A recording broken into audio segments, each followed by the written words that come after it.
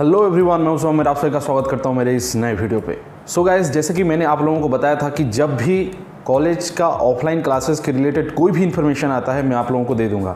तो आज वही इन्फॉर्मेशन मैं आपको देने वाला हूँ और एक नोटिस आप लोगों को मिल गया होगा। अगर आप मेरे टेलीग्राम चैनल पे ज्वाइंट हैं तो आप लोगों को सबसे पहले मिल गया होगा, एक दो घंटे से पहले।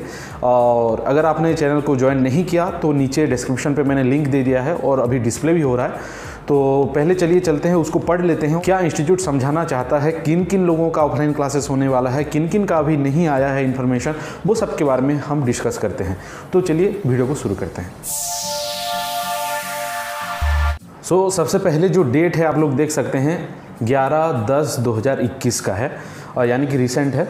और अभी हम देख लेते हैं to whom it may concern it is being inform to Indian students that on the basis of the order of Ministry of Education and Science of Kyrgyz Republic on the beginning of academic year 2021-2022 on 15th September the education process of S. Tantisep Asian Medical Institute Kant will start on 1st November 2021 in mixed form that is lecture will be online lecture will be on online and classes will be offline for students of second semester which is fifth year program and sixth year program and eleventh semester six year student तो पहले इसको समझ लेते हैं। जो पहला paragraph बोल रहा है वो क्या बोल रहा है?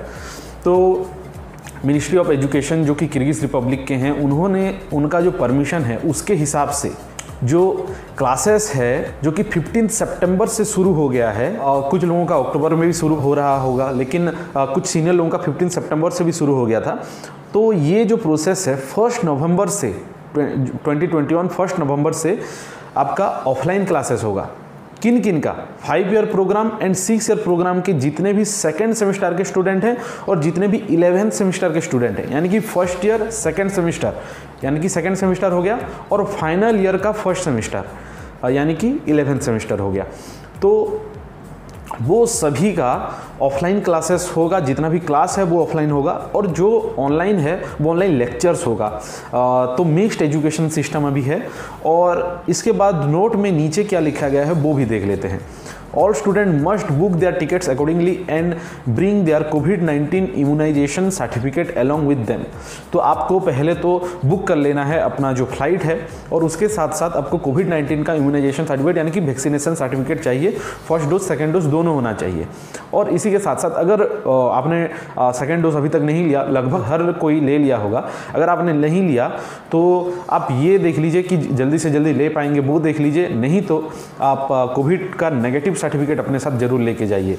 और ये तो हो गया।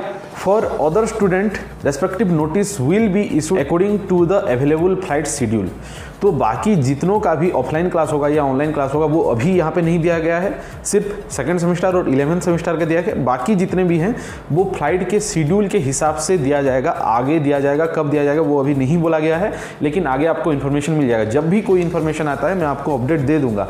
तो अभी नीचे लिखा गया है submit your COVID nineteen immunization certificate in room number one one three तो आपको जाने के बाद आपका जो कोविड नाइन्टीन इम्यूनाइजेशन सर्टिफिकेट है, वो जाने के बाद आपको one one three room number पे देना है। याद रखिए one one three room number पे, जो कि आपको जो मेन बिल्डिंग है जहाँ पे आप पढ़ते हैं, जहाँ पे इंस्टीट्यूट है, वहाँ पे आपको मिल जाएगा।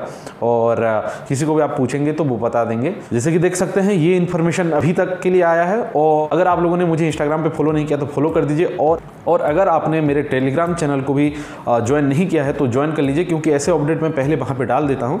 और इसके बाद मैं वीडियो बनाता हूँ। तो होप करता हूँ आप लोगों को वीडियो पसंद आया होगा। Thanks for watching